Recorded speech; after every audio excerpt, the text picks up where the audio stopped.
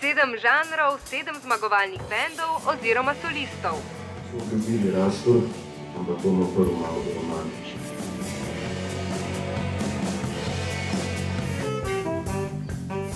Finale oddaje v svojem ritmu bo določil zmagovalca.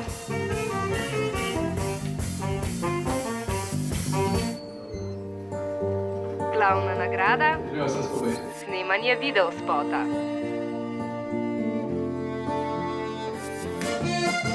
Izzivi?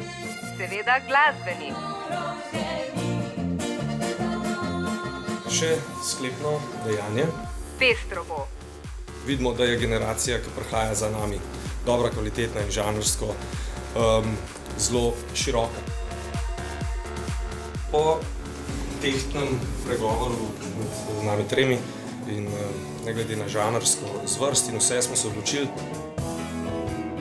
da tokrat glavno nagrado vzame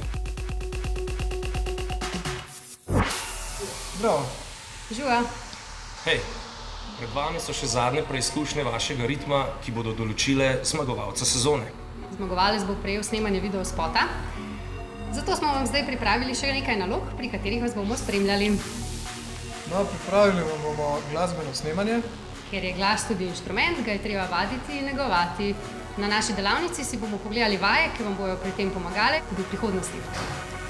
Postavili vas bomo pa tudi na oder, kjer bom eh, pozoren na vaš živ nastop, na vašo celostno podobo. Eh, Glasbo se na koncertih tudi gleda z očmi, zato je zelo pomembno, kako vse skupaj izgleda. No, to je to, zdaj pa akcija. Čim bolj uživate pri tem? Srečno!